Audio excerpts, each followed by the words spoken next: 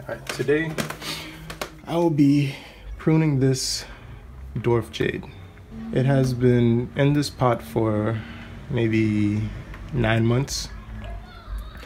And it's been pruned back a few times. I've cut back a few of the larger branches, but it's not that it's too big. I could let it grow longer than this, but it's getting too big for my growing area. And I also want to make some structural changes. I want to make sure that it's developing in the direction that I want it to. So this was a little leaf that actually fell off to the side and it rooted and just turned it's turning into its own plant. I originally thought that was cool, but it's taking up space in the soil and I mean I'm not gonna do anything with this, so I'm gonna I'm gonna kill it. That's the first order of business. Second, um, this thing just goes up and then turns into a V. Like uh, what is that? A slingshot? They call those slingshots in bonsai. And some some people like it. I don't like it. It's not it's not attractive to me.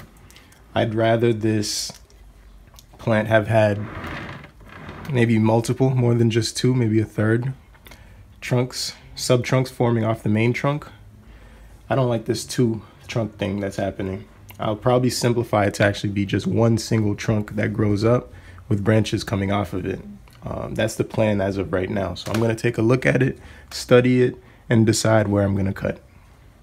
Okay, the first cut that I know I'm going to make is this. I might take all of this off because it just, it doesn't really add any movement to the trunk. It just goes straight up all the way to here. So I could either cut down right here and then have it continue in this direction, or I could take the whole thing off. But since I can't add anything back on after cutting it, I'm gonna start by taking just the top off since there's not much of a progression of taper.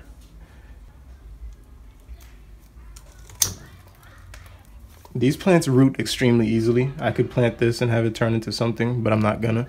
I don't have space for that, and I'm not. Uh, I'm not trying to be a bonsai hoarder. Um, and also, they they're very fast growing. So after cutting this, it's gonna heal in a few days or in a few weeks, and it'll pick up right where it left off. This branch right here is just growing back and crossing over the whole design, so I don't I don't need it. All right, this branch just comes straight off. It just goes. It's just straight from the main trunk that's not really attractive to me. So I'm going to cut that off too.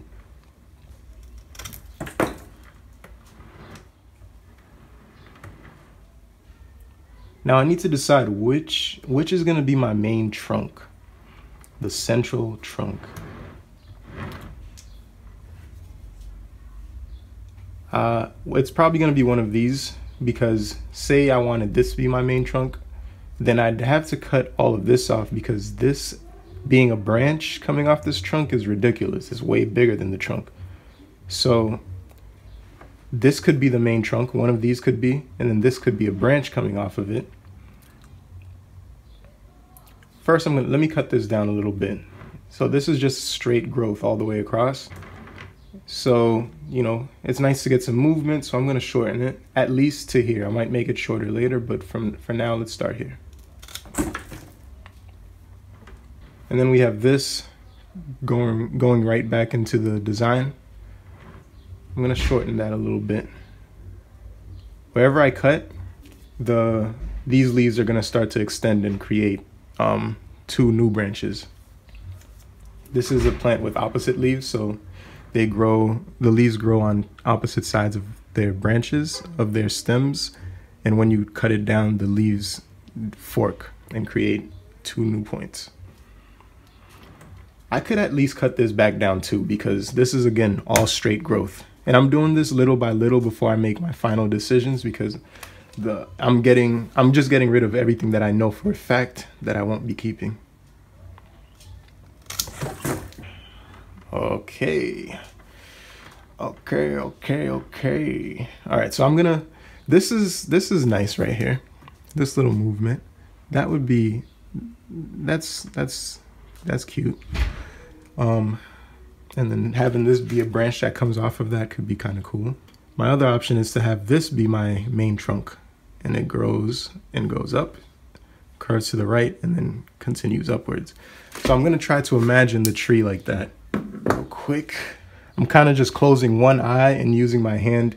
You know what, there's another technique. I could use some paper. That helps since I have a white background. All right.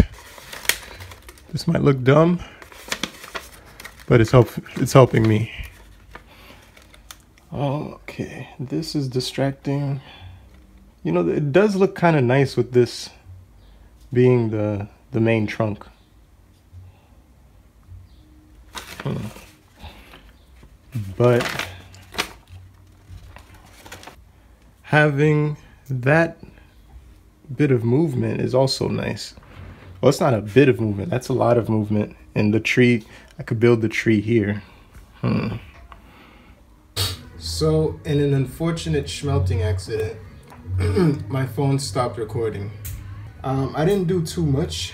I just ended up shortening, shortening that. I decided that it would be best to just make a decision later on which of these I would keep as the main trunk. I like both so far. I'm gonna let this one grow back and thicken. I'll let this one grow back. This is probably gonna just be a branch coming off of either this trunk or that trunk. And yeah, we can make that decision later on down the line. So here is a 360 view of what it looks like. Who's we? Mm-hmm. What are you talking about? So we can make that decision. I can make my decision later. yep, so this is it right now. I like how it turned out. I know it looks crazy, but it'll it'll grow back. It'll be worth it. It's gonna be way more attractive. So thank you for watching.